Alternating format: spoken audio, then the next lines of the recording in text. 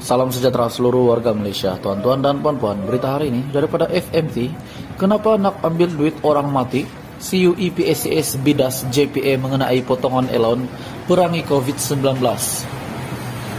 Petaling Jaya, tindakan kerajaan memotong sebagian elon kaki tangan awam untuk disumbangkan kepada akaun amanah bencana sekalipun mereka meninggal dunia pada tempo tertentu bulan depan mengejutkan CUE PAS ataupun KUPEX.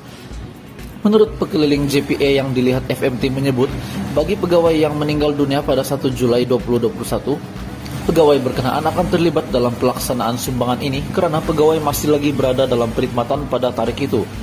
Pekeliling itu juga menyebut sekiranya seseorang pegawai meninggal dunia pada 15 Julai, allowance juga akan dipotong untuk disumbangkan kepada tabung berkenaan karena beliau dianggap masih dalam perkhidmatan pada 1 Julai.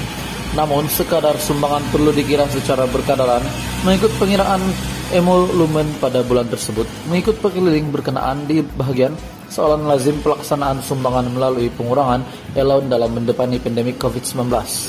Setiausaha Agung Kupex Abdul Rahman Muhammad Nurdin mempersoalkan keperluan JPA menggubal peraturan